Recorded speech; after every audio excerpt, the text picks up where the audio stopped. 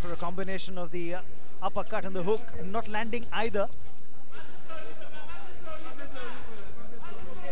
Break! Stop! Bharadwaj, how many times have you seen boxers so imbalanced going into a punch? You know, when you are throwing your left and right or any punch and if you are not maintaining balance, it shows that you are not uh, trained well and uh, your efficiency of boxing in the international is not there. Really a scrappy bout at the moment. But irrespective, one of these two is going to be eligible for a medal, irrespective of the fact that this really isn't the highest standard of boxing that one's always, it is always there in the boxing because if you get a good draw in the very beginning, you get a medal without having any more efforts in the international. And you know, the best thing is uh, that good thing is that, you know, he has won against Beniwal, you know, one of the good boxers. Well, I'm sure the uh, national coach here, Sandhu, would have a lot of heartburn looking at this bout. Definitely, because when he sees that these boxers do not have a standard and one of our good boxer has lost from him, how it is possible?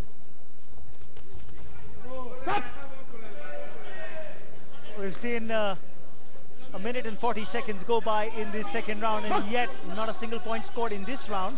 In the first round, of course, the uh, boxer from Mauritius, Ricardo Collin, had taken a two points lead. That's what stands even now. Oh, there's a strong right.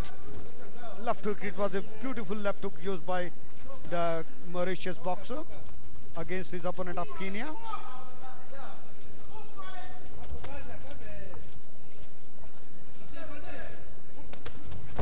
Stop! Box! Well, Beniwal would be thinking, what an opportunity I missed out on. Looking- Definitely he might be you now upset after observing his opponent now because that time he might be in tension or you know might be overconfident and now he might be feeling bad after observing his opponent that he do not have a proper standard of boxing for the international.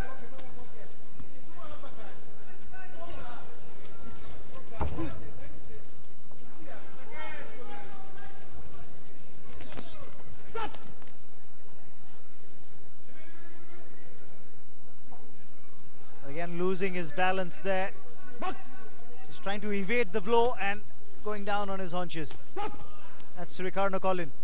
You might have seen the best thing was that mean the Mauritius boxer is having a very good counter-attack. He has just uh, adopted on his opponent. No doubt he is he could not score the point, but at the same time his counter-attack was excellent with the right.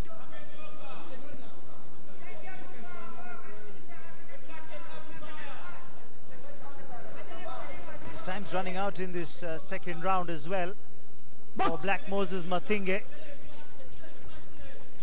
Still trailing by a couple of points.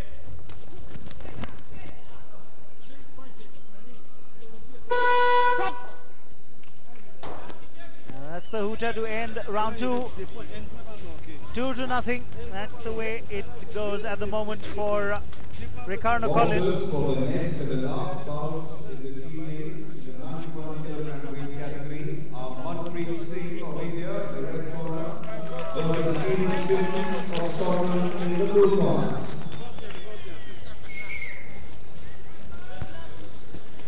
the cheer going up uh, from the crowd. It wasn't for this bout, it was for the bout that's coming up. That features the Indian.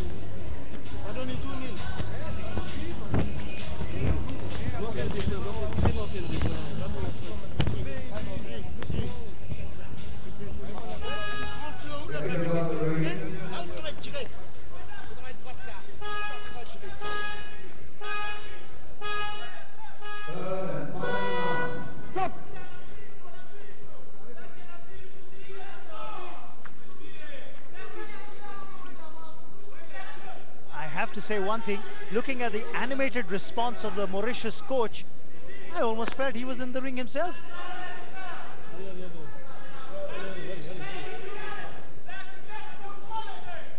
Box! The final three minutes, that'll count. The last round of this bout.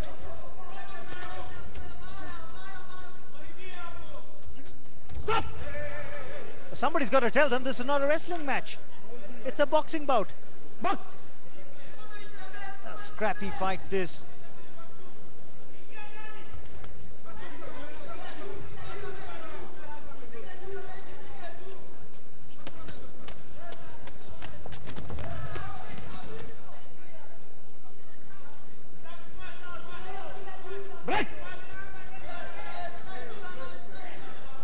Flurry of punches being traded, but not without a lot of force or on target. Radar needs a little readjustment.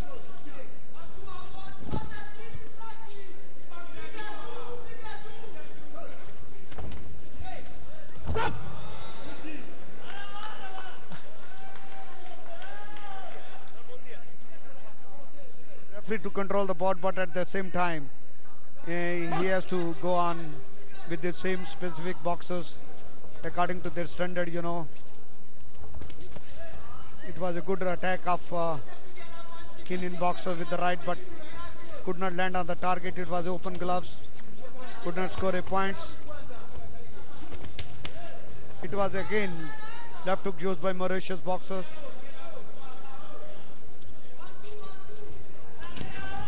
Stop.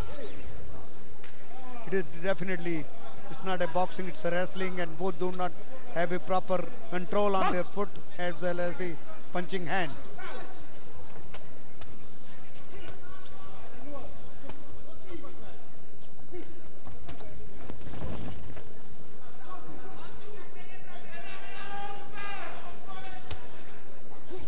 Even though the Mauritius boxer who has scored the two points, he does not look like a, a boxer with that scientific technique of the boxing. What do you say about that? He's barely being able to hold his own. I mean, forget about uh, hitting your opponent. He's barely being able to control his own body weight. There's no real strategy here in terms of what line of attack to go for.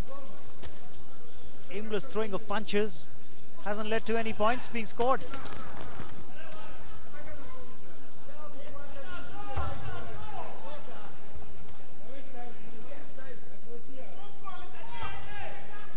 Clock's ticking down, 30 seconds and under. two, three, four, five, six, seven, The mandatory eight Hey. count. box.